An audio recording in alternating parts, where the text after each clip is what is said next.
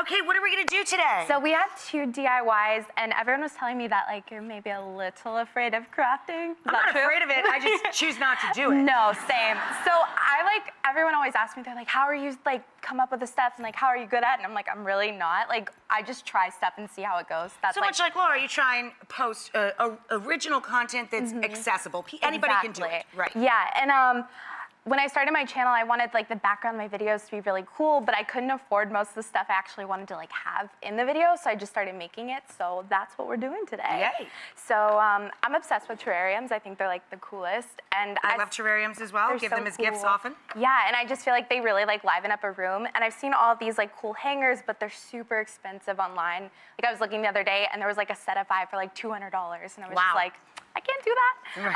Um, so we're gonna make our own. So what you need is some of this cool cord.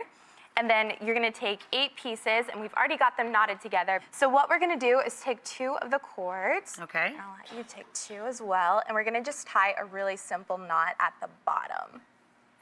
So All the way to the bottom or just um, kinda close? A little ways up. I normally do like I like measure with my hand because you know Okay. DIY. Um, so I do it about here, and then you just want to tie like a regular knot. Okay. These are like the kind I get in my shoes all the time, and then I can't get them undone. Okay. So you want to tie it just like that. I have successfully tied a knot. Beautiful. Touching it. Um, Touching it. So we're gonna do two more, okay?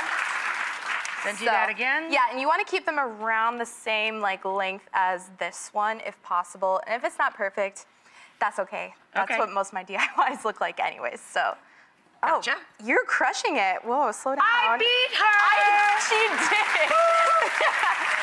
so once you have these, now we're gonna start like locking them together. So you do the inner, the two inner right. pieces. And, these right. these are eventually going to hang out together, but we'll get to them eventually. I get it, I get it. So about the same like width, you want to do the same thing and tie another knot. You're making like a Yes. fishnet. Basically, yeah. And it's a lot easier if you're like sitting down on the floor watching TV. That's normally what I do when I'm crafting. Super fun.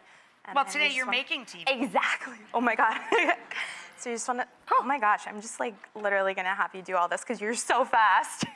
I'm better Okay. at this than I thought. Honestly, better than I am. Please take over my channel. Let's move on to this one. I want to run out yeah. of time. Okay, right. so, So- then once you're done, all you have to do is. You to have some do. succulents. I love air plants and succulents because you mm-hmm. barely have to water the suckers. Exactly. Right? Low key is my favorite. So you just Drop it in. there, and then normally I like press it down a little bit just to make sure it's nice To, and in right, there. Right, to make sure it's you're knotted. And then you put a hook on the top. Awesome.